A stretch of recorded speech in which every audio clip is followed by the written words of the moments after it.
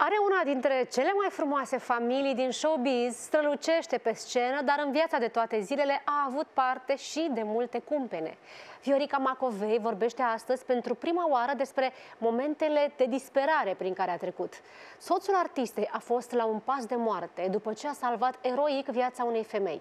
Întreaga poveste o aflăm chiar de la Viorica Macovei și de la sufletul ei pereche. Dar nu vin singuri, pentru că nu mai sunt singuri de mult, ci împreună cu minunea din viața lor, Maria Sofia. This is my present for you. Bună ziua și bine ați venit! ziua, bine v-am găsit! Bine ați venit, Maria, Sofia, ai crescut, ce domnișoară frumoasă ești! Bine ați venit, Viorica, Daniel, bine ați venit, vă rog să luați loc.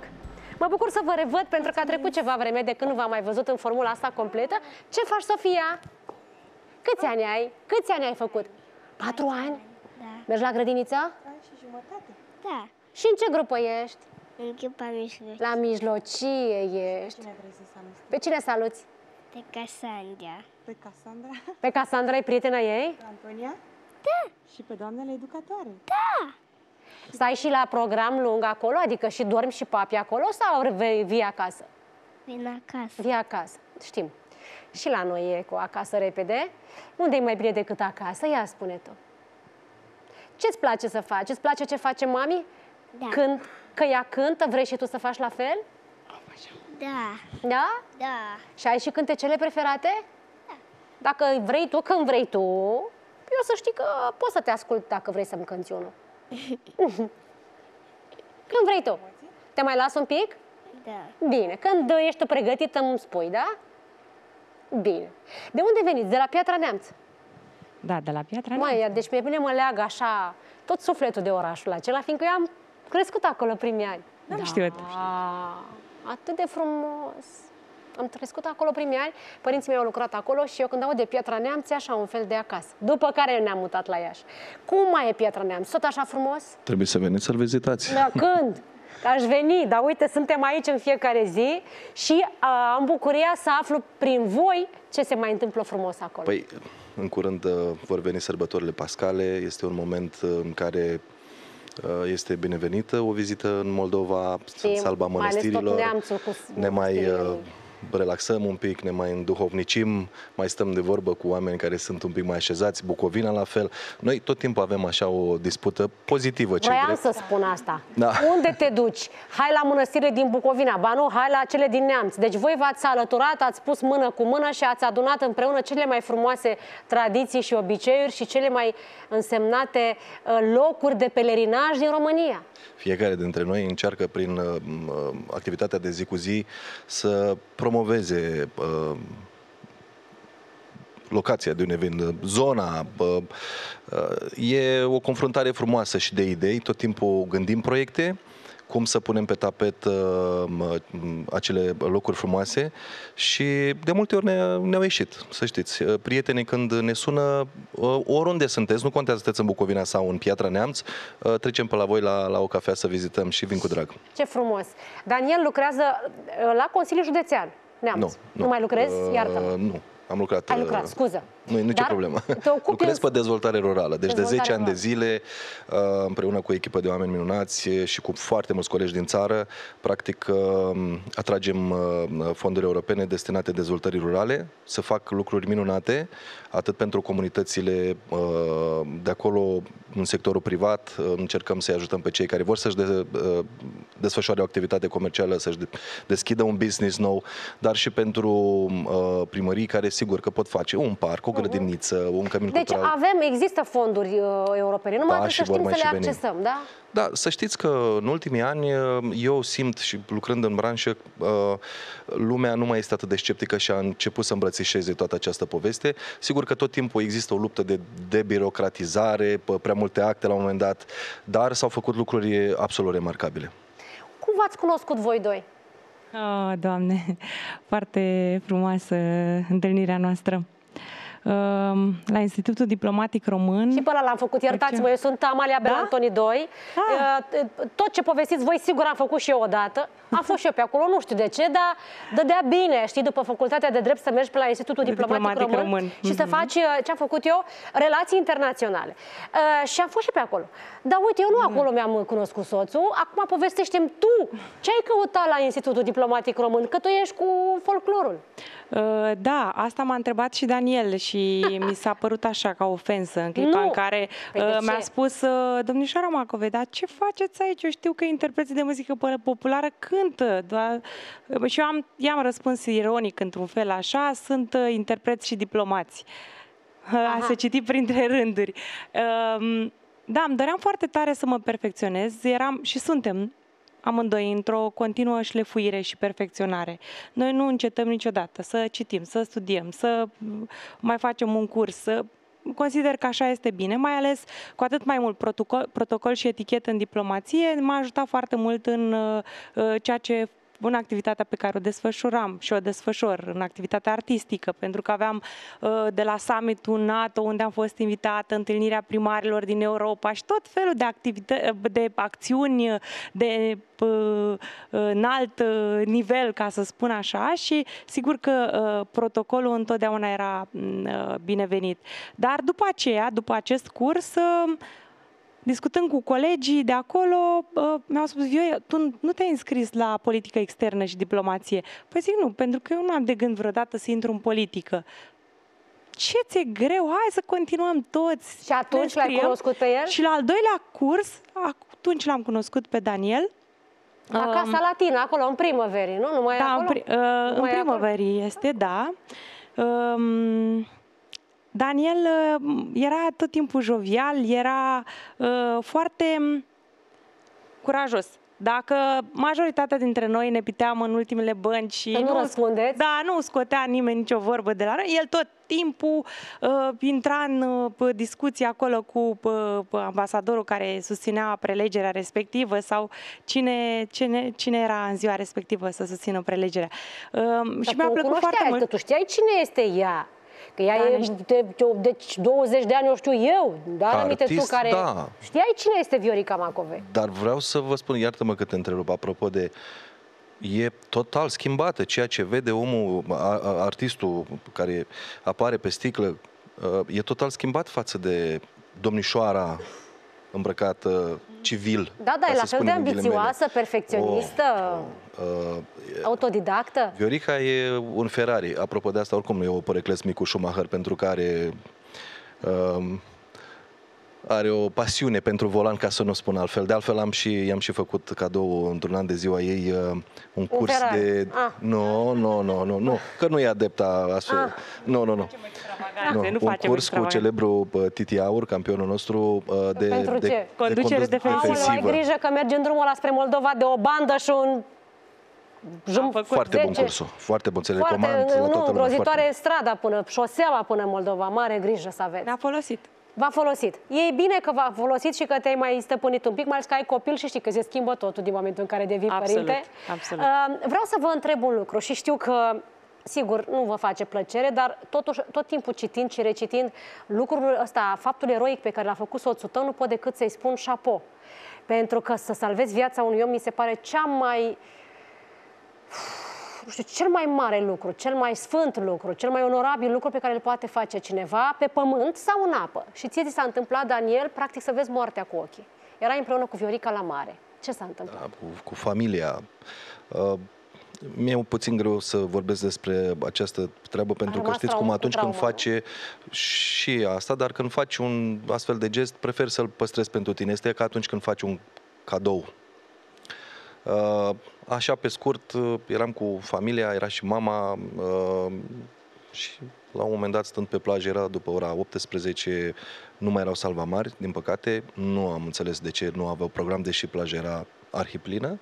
Aici la noi în România, nu? Uh, la noi în România, da. La Eforie Nord, cred că eram, pentru că mama era la tratament la o bază uh-huh. în apropiere acolo și de-aia am preferat să uh-huh. mergem să fim lângă ea.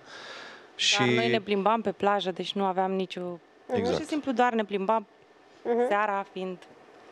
Și La un moment dat, uh, practic, marea a devenit foarte învolburată, au venit niște curenți foarte puternici.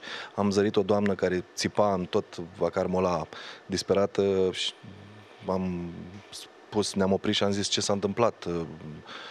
Două tinere erau în larg, abia, abia se mai vedeau de, de valuri, erau foarte puternice. Și cred că a fost un gest uh, necugetat din partea mea, pentru că nu așa nu se duce. să vorbim despre asta.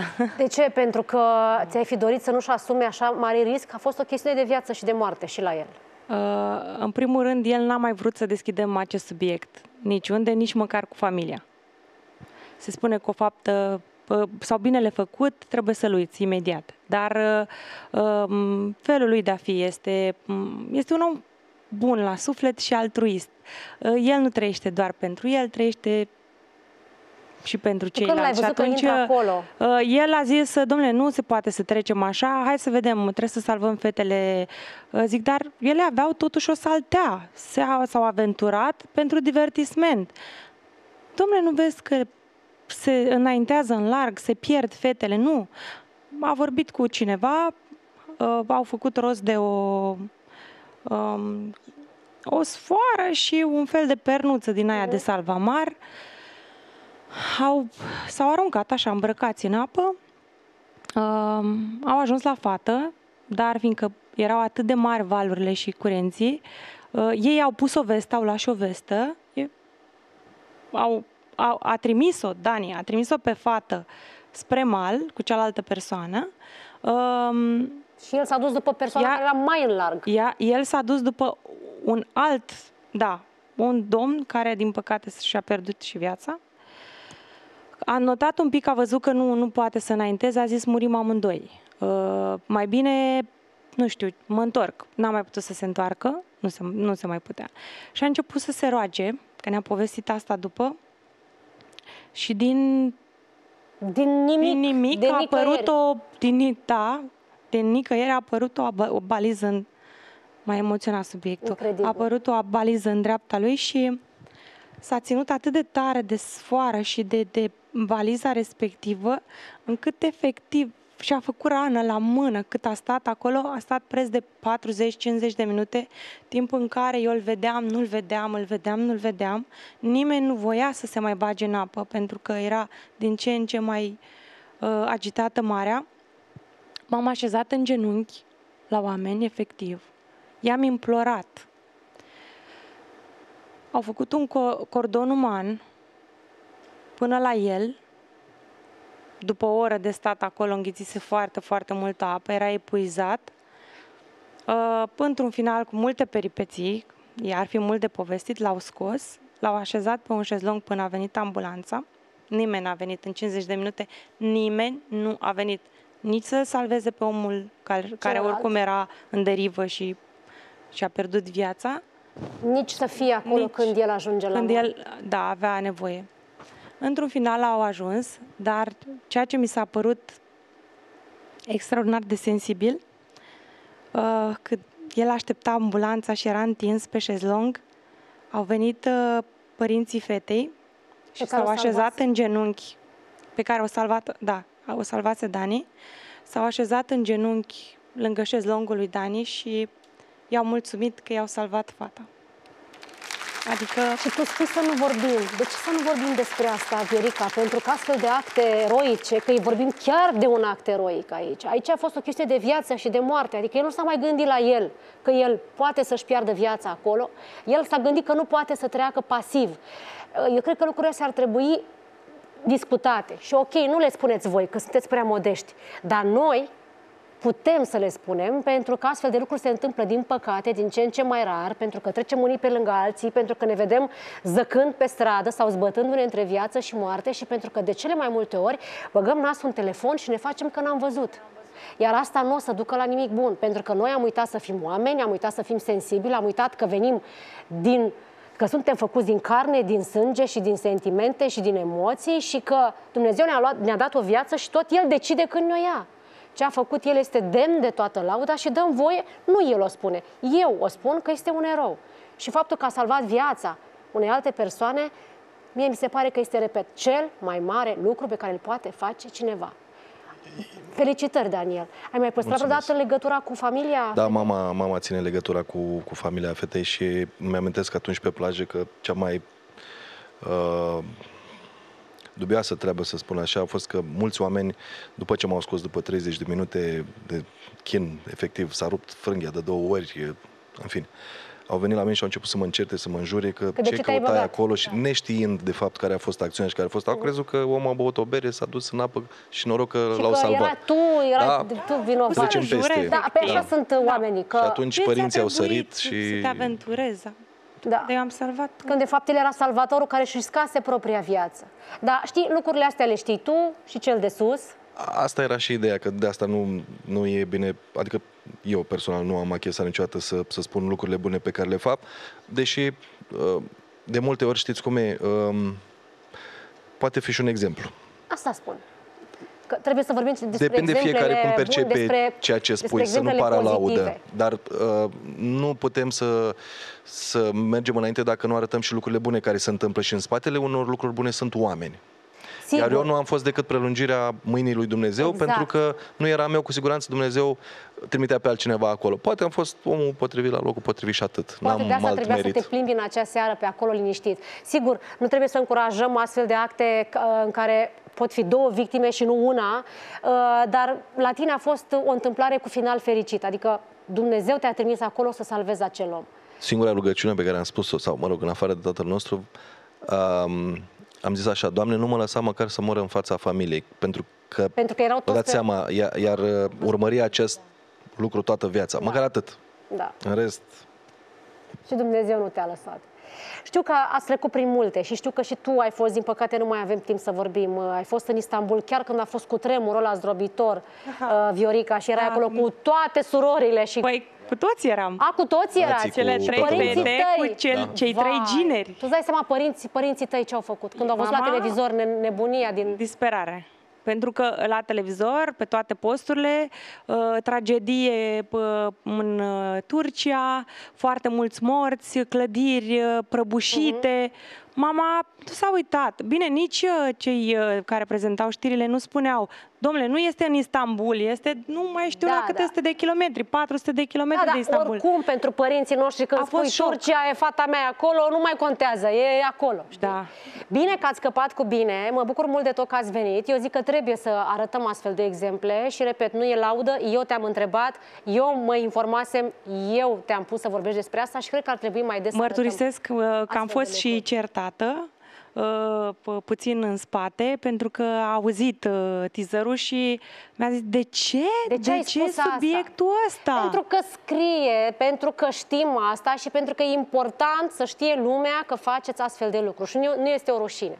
Atunci vă fac o provocare, o vă, vă, vă arunc mănușa, cum se spune în, în ring. Uh, lucrăm la niște proiecte foarte frumoase, de, Punem de repede suflet. unde să intrăm. Uh, nu, vreau să venim cu proiectul la ah. momentul respectiv și Așa avem facem. nevoie de tot sprijinul și tot suportul ca, ca să, să realizăm acel proiect. copii care au mai, cea mai Așa mare nevoie.